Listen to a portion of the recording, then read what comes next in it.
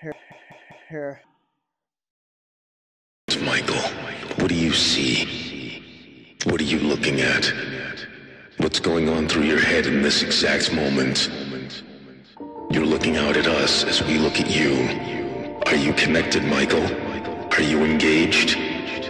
Is your mind floating across the universe, connecting with beings higher than ourselves?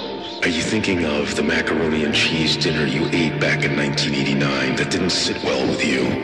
Or are you pondering calamitous world events? Are you thinking of the time that I wanted a gift certificate to a record store? And he didn't get one, and instead he got a trash bag filled with urine, which he then traded in for a box of playing cards with clowns on them. What's happening, Michael? No, really, what? What's happening? Return to us. Return to us now. Return to us now.